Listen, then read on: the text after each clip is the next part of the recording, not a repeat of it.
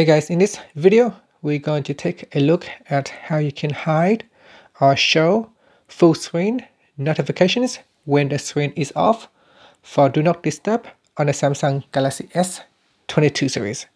First tap on the home button to go back to the home screen. Then swipe down at the top and tap on the settings icon. In settings, go down and tap on notifications. Then we go up, swipe up to go down and tap on Do Not Disturb.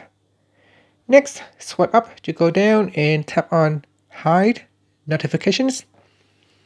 Make sure the Hide All button is turned on at the top.